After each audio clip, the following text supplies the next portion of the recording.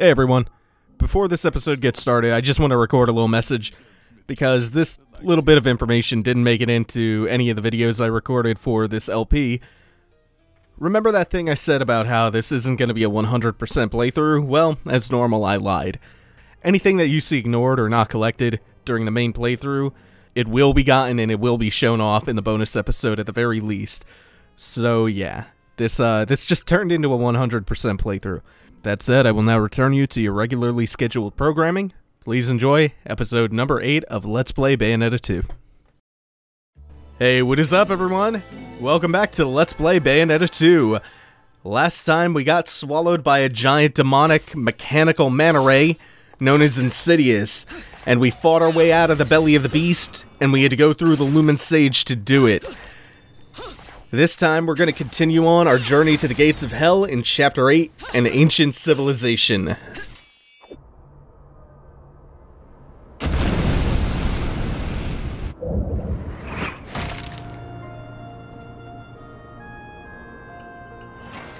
This is... Welcome to hell, love. Too late to repent. These are the gates.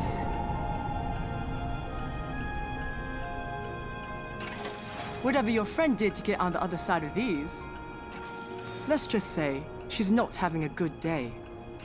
No, she isn't, little one. But she'd still be alive if she hadn't wasted her life saving mine. Huh? Well, she doesn't seem like such a bad friend after all. Fimbulventr can wait for now. I'm opening the gate. Well, thank you. Oh, I can't just leave you at a shutter gate after your sob story, love. Besides, who's gonna save you if our stalker decides to show up again? All right, let's do this. Okay, we've had a couple of uh, conversations now, which kind of humanized Loki a little bit. I'm, I'm digging that. So we're right here at the gates of hell. By the end of this, we will actually uh, have entered Inferno finally. But first, we're going to start off, like so many chapters do, with a journal echo. And this one's talking about things which were once sealed away. Uh, namely, there used to be tons and tons of ways to enter Inferno and Paradiso but most of them were destroyed, and the ones that weren't were sealed away behind these strong magical barriers. And they were scattered around, they were hidden on top of mountains and under oceans, places which would never otherwise be accessible. And before we proceed any further, we get this really cool design.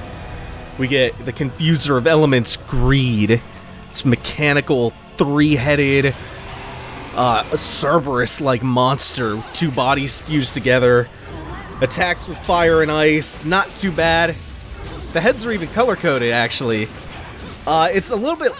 You can even see in the design, it's a little bit like Fearlessness. That's that's Sonic Spin Dash, isn't... It's like uh, Fearlessness and Fairness from Bayonetta 1. Complete with the lunging grab attack that I always got hit by in the first game. I don't know what it is about that kind of attack, but it always gets me.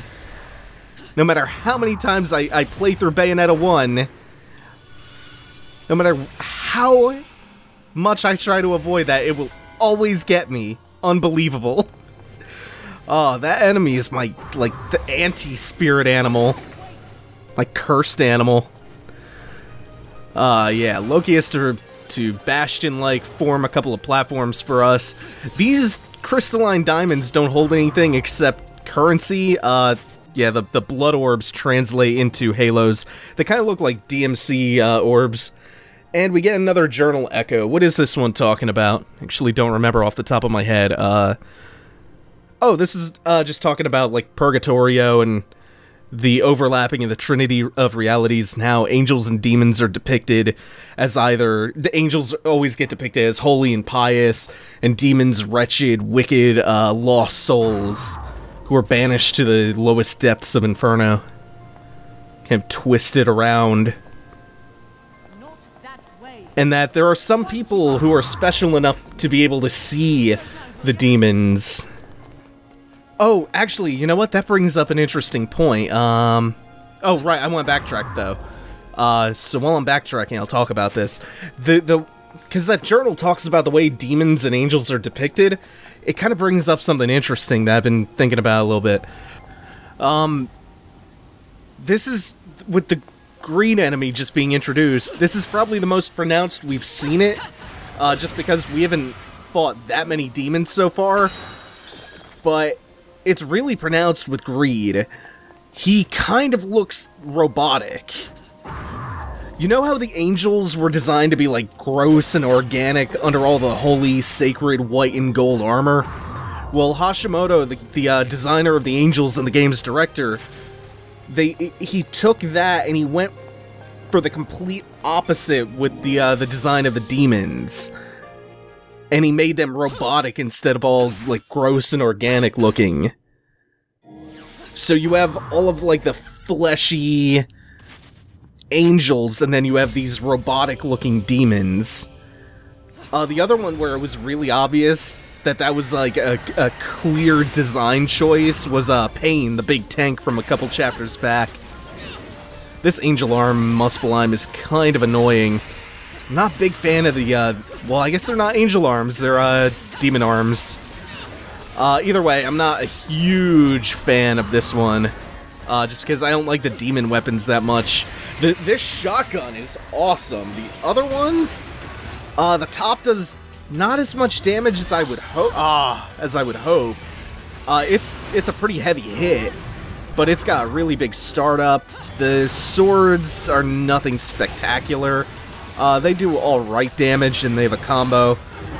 This that shotgun though, hmm, huge huge damage output. Plus, it's pretty quick, and it does a ton of uh, poise damage.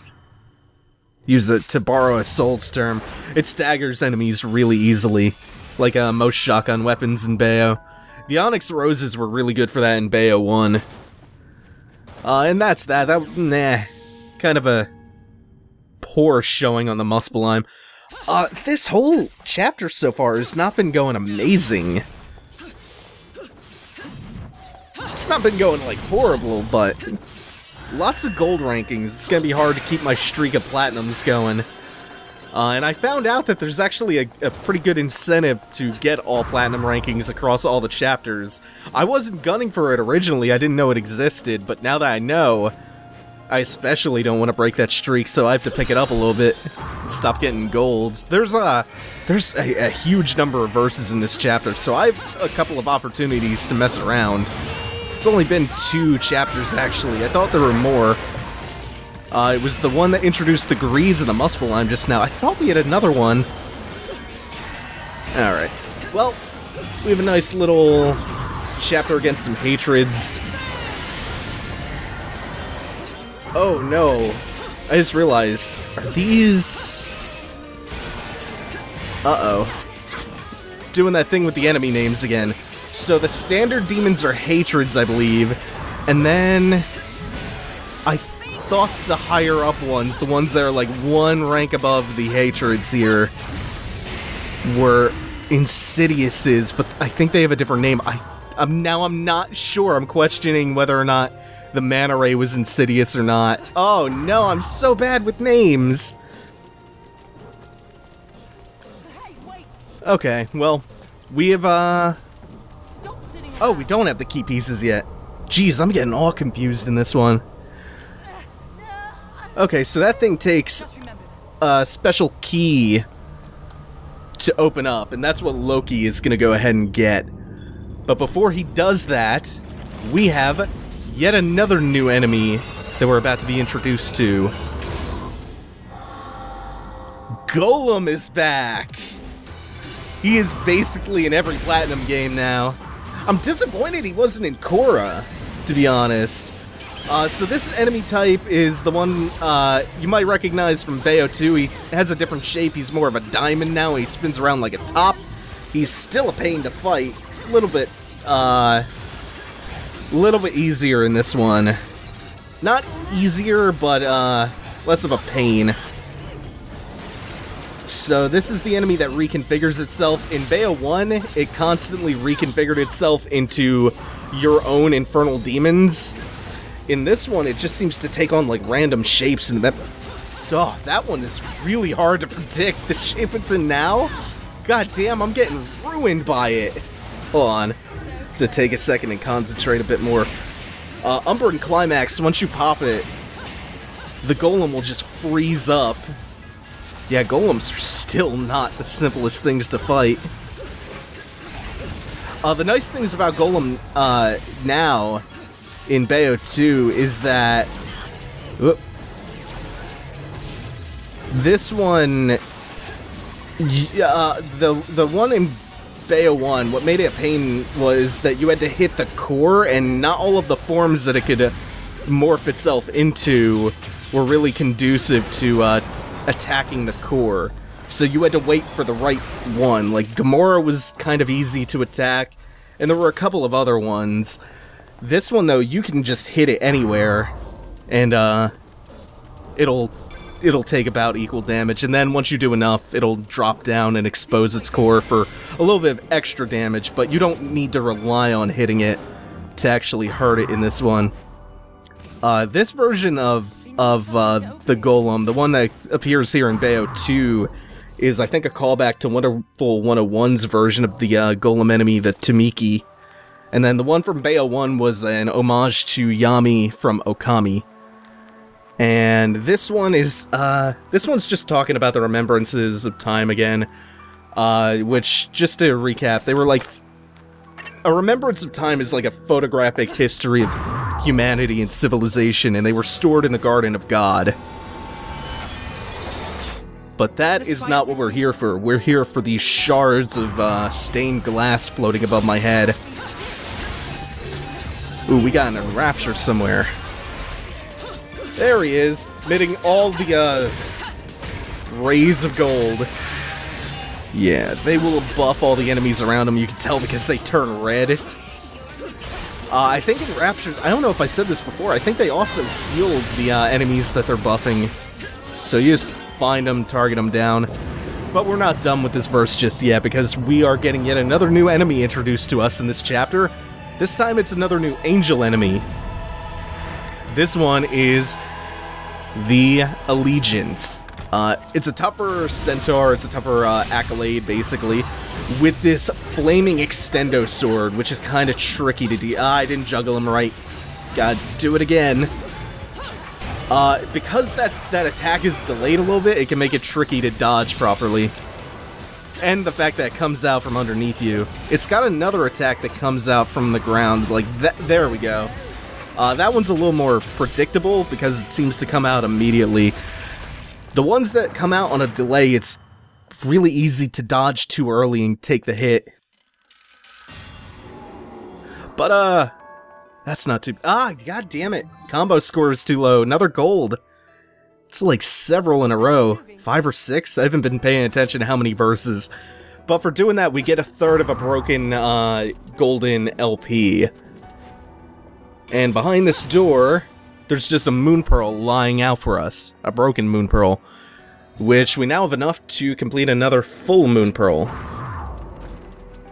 That's one of the only ones, I think that might be the only one in the game that's just lying there outside of a chest aside from the ones you get as a reward for doing the Muspelheims.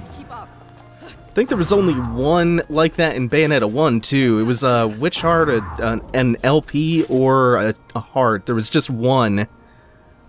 Uh, oh, okay. Right. I almost forgot to do this. So, I'm gonna backtrack to the beginning of the level for a hidden verse real quick. Almost forgot about this.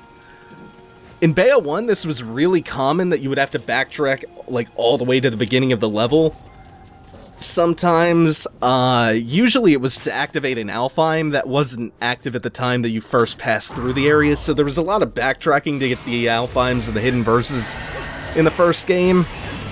Uh, that's not really the case in Bayo 2. Uh, there isn't a ton of backtracking. Even in this case, when we had to go back to the beginning of the level, it like the beginning of the level's right there. It's a pretty short one, short kind of linear level, even though there's tons of verses in it. Uh, and this one is just against... Yeah, I have totally forgotten their names, the higher-up versions of Hatreds. Oh, why am I so bad with names? Is it Agony? Something like that? Oh. Oh well, I will never be good at remembering names. And I... Oh, God. I'm crushed by how mediocre some of these verses have gone. I think that has to be another gold, right? Gotta start turning this around. Otherwise I'm gonna break my platinum streak. Yeah, that was not a good verse. Combo score is always pretty easy again. I'm surprised my time was that poor. And then damage, usually the hardest thing to keep off you. Combo score you should never really have that much of a problem with. Uh, with the exception of a couple of fights. Uh, mostly boss fights where it's it might be a little bit harder to keep your combo going. Oh, and we come back out to the plaza where we fought uh, the golem for what is this? The fourth journal of the of the level, and this one's actually talking about the golems. Must have appeared here after we fought it. Uh, so God made the golem, the the prototypical first golem, to protect all sorts of all manner of sacred things. And then people eventually discovered this golem this prototype golem and they found a way to make something similar to the golem and of course being humans they turned it into a war machine that they eventually had to seal away because it was way too destructive. Uh, this is a pain in the ass. If you saw the little flyby a second ago, there's a... There it is one of those violet diamond-shaped crystals, and that one had a really easily missable moon pearl in it. Uh, this is just like the section from the first game when you're flying through and trying to hit the core of all the tentacles. I don't know how that puts us so far away from the portal after we just kicked it, unless it's a second portal in the distance or something. Uh, yeah. Come on, let me get up on it. There we go. Uh, there's another chapter that starts out just like this, that I almost confused this one for. Uh, there's a hidden verse, like, right at the beginning that you miss if you turn this thing and reconfigure the world like that. I love that that that, that mechanic returns from Bayo 1, like reconfiguring the world in that way. Spinning everything around. Uh, there is a little missable chest over here, though, that you can jump to. Oh, it just has a lollipop in it. That's always disappointing to see. It's like, oh man, chest way off in the distance. I got Panther jump to it. Nope, it's a shitty lollipop. Oh, greeds and hatreds. For a sec, I thought they were furies. Uh, fury... Wait, is that... Yeah, one of them's a fury. The one that's flying around. Uh, I should probably pay more attention to the greed, though, especially since I need the platinums here. Umbran Climax will help out, make sure the greed is dead. Okay, good. This is actually a strong verse.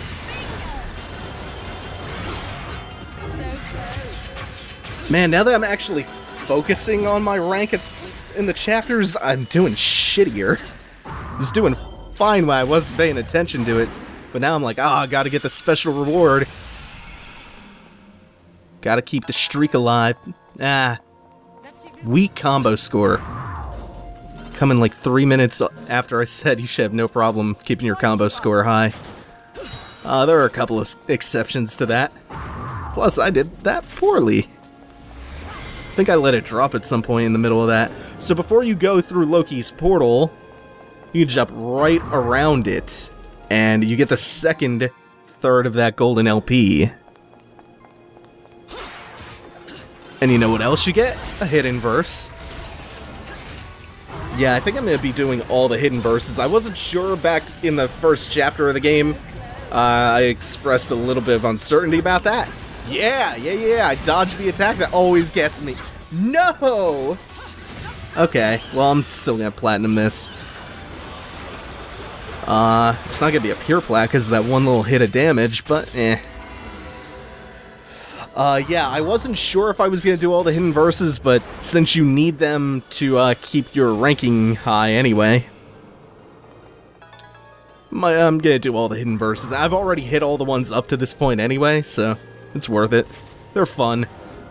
Usually a nice little optional challenge to it.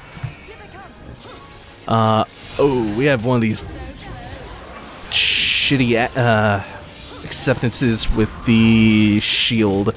So what I'm gonna do... Ugh. Always that one hit. I can get away with most verses only taking that one hit. Gotta tighten it up just a little bit. Yeah. Oh, and I can punish him too. I'm not sure if my uh, Climax is running out while I'm doing... Yeah, I activate that a little bit prematurely. Whatever. Focus this one down before the shield becomes a problem. And we're good.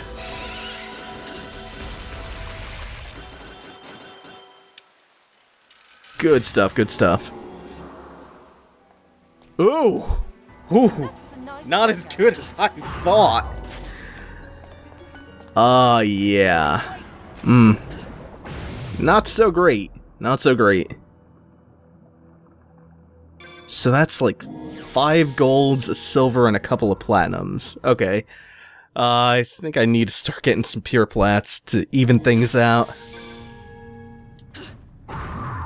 Oh, and we have a fun Alfheim, or uh, Muspelheim. Gonna take a while to get used to that.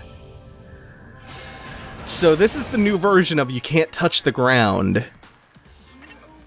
Uh, there any... Yeah, Chernobog probably work just fine here, actually. Uh, yeah, this is the new version of Don't Touch the Ground. Oh, we don't- we already did one of these, never mind, this is just uh, the second one. I like the ones where you- the ones from Bayo 1 where you have to really take advantage of stuff like enemy step and the whip and some other animation quirks. Uh, but this is kind of neat in its own regard because the platforms get destroyed. And we have a fidelity over here. Ooh. But yeah, you really don't need to utilize that. You don't even need to utilize the columns they give you. Um, you can really get away with just enemy stepping and air comboing and double jumping and stuff. There we go, that's kind of what I needed. In the LPs, like especially for Bayo 1, I normally don't worry about like ranking that much, just as much as I do just you know, showing off as much stuff as possible. I, I normally don't care about the ranking that much when I'm doing the LPs. That's more of a solo personal time thing for me because it's normally pretty hard to do that stuff while commentating. It takes a lot of uh, focus and messes with your reaction times. Uh, enough Johns, though. I think we have another fidelity fight down here, which is gonna be a pain because it's underwater. The underwater fidelity fights, all two or three of them, uh, they're kind of not great. Oh, that's gonna help a lot though. Chernobog helps. And the quick switch to Rakshasa for the extra speed got nicked. that lighting effect will never stop being awesome to me. I know I should be paying more attention to the, to the fidelity, but man, my eyes tend to wander. I go into autopilot when I'm commentating over a game. Which sometimes it's a blessing, sometimes it's a curse. That lighting effect, like the uh, the light coming through the stained glass, especially underwater, the multicolored light, it's beautiful. We saw like the, a much better version of that back in the uh, first chapter, I think. And then I think this is the last Muspelheim of the level. We're actually getting pretty close to the end of this one. I think I'm starting to turn it around a little bit. Got a couple platinums in a row and that pure plat will actually offset things.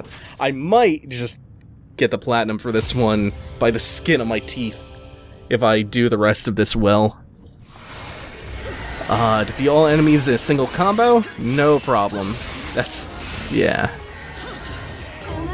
As long as nothing knocks me back so I can't at least uh, keep the combo going by firing the gun, that's fine. Really, the only way the combo can drop is if something hits me and incapacitates me long enough. Otherwise, like, if you find yourself far enough away from an enemy, you can either mid-range stinger towards it, like I just did a second ago, or just fire the guns real quick to keep the combo uh, going, to keep the to reset the timer. Woohoo! Whoa, whoa, whoa. Saw a little slow-moving Fury Orb. Uh, I believe when you get hit by those orbs, they actually do incapa incapacitate you or slow you down or something. Clutch a little parry. Was I running out of? Oh no, I thought I was I thought that was 0.76, not 59. Uh, yeah, that felt pretty strong. I might not get the platinum on time, but the rest should be good. Oh no, combo score was low there too. That's kind of unexpected.